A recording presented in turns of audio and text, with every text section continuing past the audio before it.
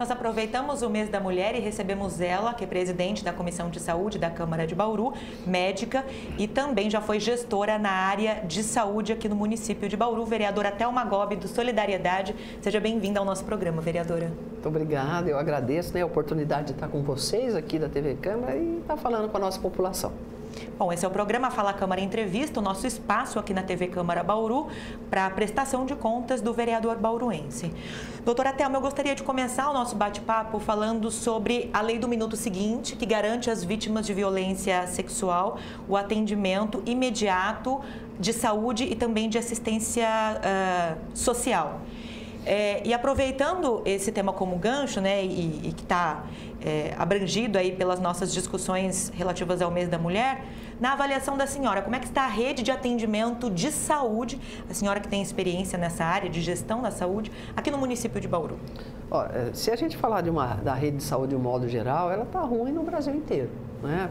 Nós sabemos a falta de recursos para medicamento, para melhorias de local, é, todos os locais estão super populosos. Em Bauru, a questão do minuto seguinte, ela não tem um ambiente tão adequado. Primeiro que a delegacia da mulher, ela é num anexo junto com uma delegacia geral. A gente acha que deveria ser feito num ambiente totalmente separado e que todo o aporte é agregado à delegacia da mulher. Aporte médico, psicológico, social. Aí sim você vai conseguir prover uma integralidade. Existe na nossa cidade aí um movimento para formar a Casa da Mulher, a Casa Rosa da Saúde da Mulher. E também nós sabemos que ela ainda está de portas fechadas, começando a elaborar o seu, seu atendimento. Então, eu acho o seguinte, Bauru tem uma, alguma coisa melhor que algumas cidades, mas muito tem que se caminhar. Muito tem que se caminhar com relação, principalmente, à lei do minuto seguinte. Nós não temos uma estrutura totalmente adequada para isso. Precisamos melhorar. A prefeitura, né, nessa questão da saúde uh, para a mulher, a prefeitura tem anunciado a aquisição de quatro aparelhos de uh, mamografia. Um que seria cedido por meio de um contrato de contrapartida de um empreendedor e os outros três por meio da Receita Federal são objetos de apreensão aí que seriam cedidos por meio de parceria com a USP. É, a senhora que tem experiência com a gestão na área da saúde, qual conduta garante os procedimentos de forma menos onerosa para o município? Lembrando que existe também uma discussão em cima da possibilidade de o um município fazer convênio com a rede privada de saúde uh, para que as pacientes, né, para que essa fila de espera fosse reduzida por meio da política de cotas. Eu, em particular, eu tenho uma visão um pouquinho diferente da do prefeito e do nosso secretário de saúde atual. Eu acho o seguinte, olha, na verdade, um dos mamógrafos veio através de um WAVE, do estudo de impacto de vizinhança de um programa. Então, se comprou um mamógrafo. E três mamógrafos foram obtidos por doação da Receita Federal e os três estão incompletos e quebrados. Sabemos que um deles já se providenciou o conserto. Um vai ficar na casa da mulher, o outro no centro de diagnóstico, que foi, foi feito aqui em Bauru, ao lado do pronto atendimento. E foi feita essa situação para tentar acertar o que a demanda reprimida de mamografias. É, eu, em particular, é o seguinte, nós temos uma demanda reprimida? Temos. Será que temos? Parece que tem vaga sobrando ali no, no, no na maternidade. Ah, desmarca, a gente reagenda. E, e precisa de ver quantos ainda estão por fazer. Quando nós temos uma, uma, demanda reprimida de mamografia, eu quero saber o que, que foi feito para fazer o ultrassom, para prover o diagnóstico posterior, para confirmar. O que, que foi feito para fazer todas as biópsias. E quando nós tivermos os casos de câncer, serão todos encaminhados para a rede Hebe Camargo, que é uma rede de oncologia da mulher, mas quantos leitos eu tenho disponíveis para resolver? Então, você tem que fazer um elo muito grande. E acho o seguinte, a manutenção de qualquer equipamento, seja tomógrafo, mamógrafo, eles têm um custo. O custo da manutenção do equipamento, da atualização do equipamento, dos profissionais que vão atuar no equipamento. Eu não vi a prefeitura fazer uma planilha de custo-benefício de ter toda essa estrutura montada ou de comprar as cotas necessárias em serviços já montados. Onde a pessoa vai com dia, com hora marcada, porque nós temos inúmeros mamógrafos em Bauru. Então eu acho que precisa, quando você toma essa atitude, ter essas planilhas. O que é mais vantajoso para a população? O que vai prover o atendimento? Nós temos que ter o atendimento. Temos que ter o atendimento. Se o atendimento por compra de cotas é o melhor caminho, nós temos que fazer. Pode-se comprar cotas de, de mamografia, de ultrassom, de punções biópsias, tudo sem ter que manter a estrutura física do local. Então, muitas vezes, o custo-benefício é melhor. Eu não tive acesso a essas planilhas, preciso perguntar se foi feito, mas parece que não. Mas se eu disser que não foi feito, eu não posso dizer, porque eu não fui lá questionar. Mas eu sou muito favorável à questão dessas parcerias público-privadas nas compras de cota. Você compra cota de exame e compra de cotas de consultas de especialistas. Que a pessoa atendida dentro do consultório e tudo mais precisa de ver esse custo-benefício. O importante é que chegue para as pessoas. Quanto custou construir a parte física? Quanto custa manter a parte física? Quanto custa manter o equipamento? Os profissionais que atuam. Será que com menos recursos eu não vou fazer tudo isso? Existe um investimento maior, lógico, né? Que é para montar toda a estrutura. Então você tem que fazer, tem que diluir a questão da depreciação do aparelho, as, as, a gente chama as atualizações que tem que ser feitas. Eu, particularmente, eu acho que a compra de cotas de exames seria mais viável para o município. E veja, fundamentado em que os bancos tinham todos prédios próprios. Hoje eles não têm, eles alugam. A maioria das empresas grandes tinham todas frotas de carros próximos. Hoje eles não têm, eles alugam. Eu acho que a iniciativa privada analisa de uma forma muito fria. Eu acho que precisa analisar isso de uma forma muito fria. E você não está, em hipótese alguma, mexendo com o servidor, porque nós não temos quem faça serviço. E nós temos um quadro de pessoal ah, reduzido. Então nós vamos sobrecarregar mais ainda, tirar de um lugar para fazer para outro. Nós vamos colocar o servidor num sofrimento maior ainda. Talvez a gente conseguisse resolver sem prejudicar o servidor e viabilizando de uma forma economicamente mais viável para o município. A rede privada de saúde do município tem condições, tem estrutura suficiente para dar conta dessa demanda reprimida de pacientes? Vixe, tem. Tem muito mamógrafo aí. Tem muito mamógrafo e mamógrafo ocioso. Tem muito mamógrafo. E a gente tem que entender o seguinte: eh, você pega uma rede privada e trabalha de noite. Trabalha até 10, 11 horas da noite. Nós temos que ver isso. E tem aparelho ocioso tem aparelho ocioso. Bauru tem mamógrafo disponível, Bauru tem tomógrafo disponível, Bauru tem ressonância disponível. Então nós precisamos ver, fazer essa análise. Eu preciso comprar ou eu só parcerizo? Agora, com relação aos números da demanda reprimida de pacientes que não conseguem agendar ou realizar o seu exame de mamografia, a gente tem alguns dados aí, algumas informações que foram trazidas pela prefeitura. O governo do estado libera 300 exames de mama por mês que são feitos no Hospital Estadual e na Maternidade Santa Isabel, mas essa demanda de pacientes que aguardam há meses por esse exame seria em torno de 1.100.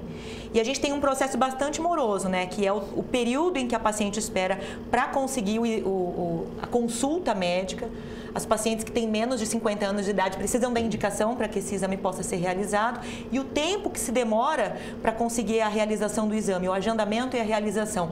Então, o processo é, ele já começa complicado lá no começo, não é, vereadora? No momento de agendar a primeira consulta, para que se possa ter acesso a esse pedido de exame médico.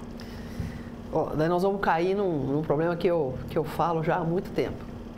Enquanto nós não equacionarmos a atenção básica, que tem pediatria, clínica geral, ginecologia, nós não vamos ter saída. Porque depende do exame. Então você tem que fazer a, a, a, o atendimento geral. Você vê, são 700, que, que a gente coloca, 750 exames reprimidos. Mas está reprimido ao longo do tempo.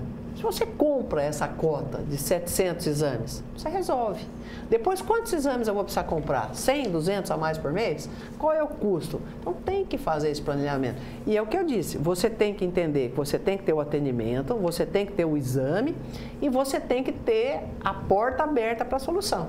Então, eu faço um diagnóstico de câncer e daí? O que, que eu faço com o meu familiar? Aonde eu vou? E nós temos realmente a questão da rede Epicamargo que agiliza. Mas e os leitos para poder fazer isso? Aí vai para outras cidades, você tem uma dificuldade. Nós temos a questão dos leitos, mas a atenção básica tem que resolver. Tudo mora ali. E eu acho que realmente é questão de cota.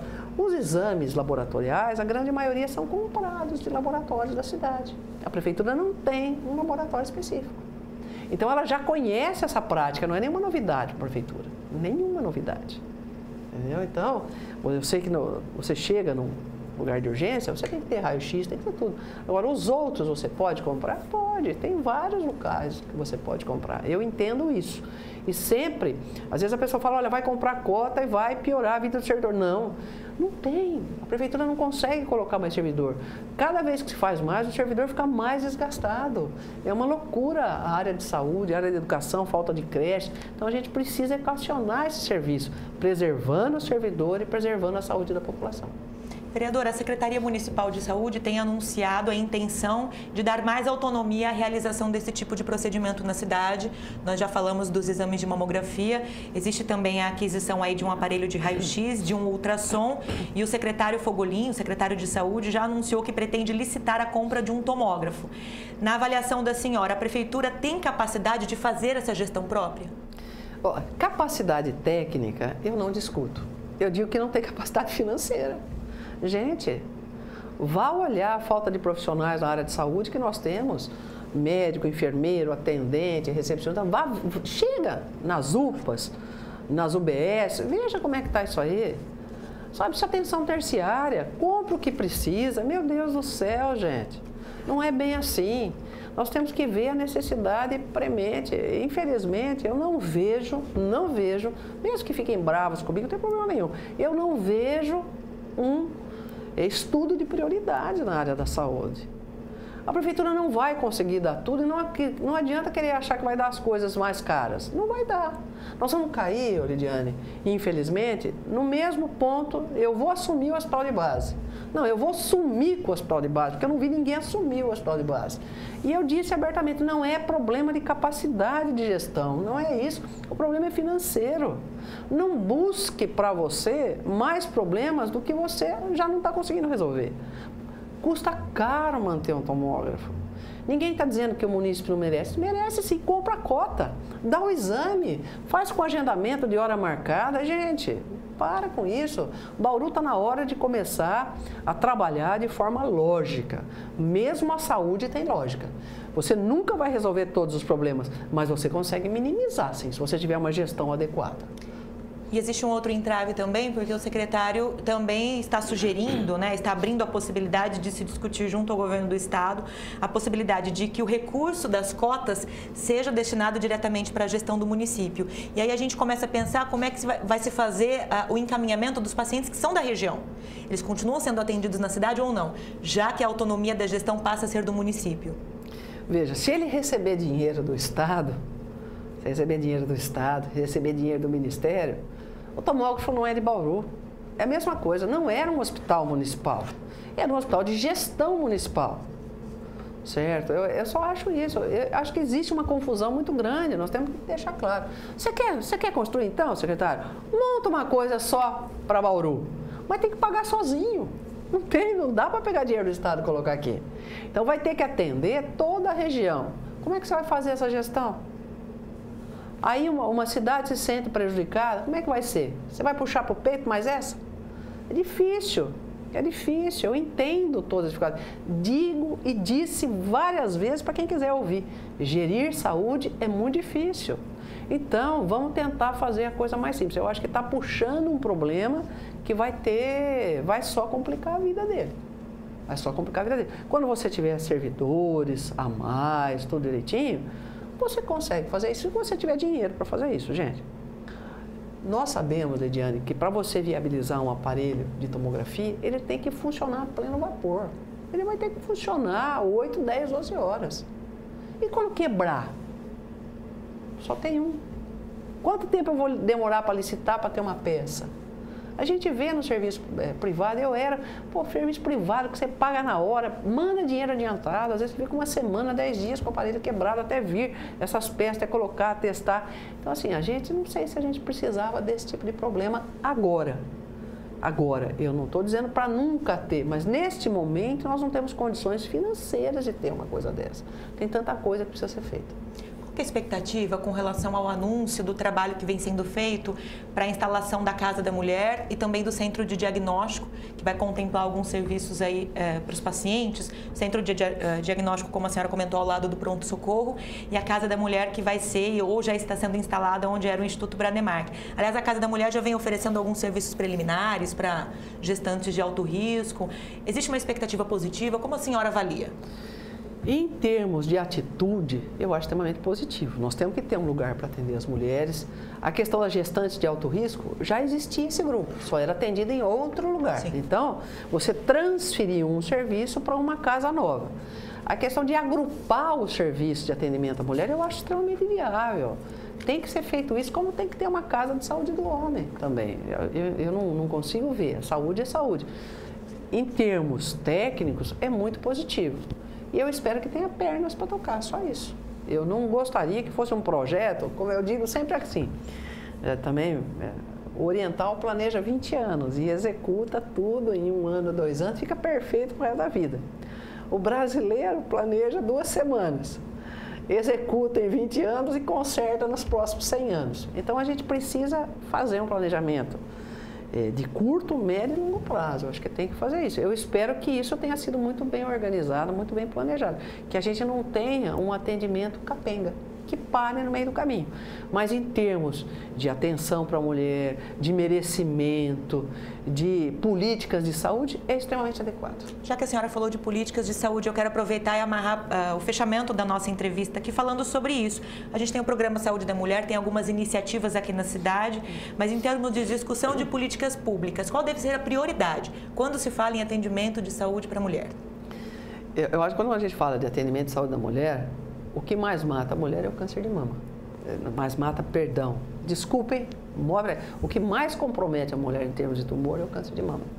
Então, acho assim, um atendimento primário bem feito, que são os exames ginecológicos anuais, com coleta de Papa Nicolau, as mamografias na indicação adequada, elas têm que ser prioridade. Nós vamos resolver a grande maioria dos problemas.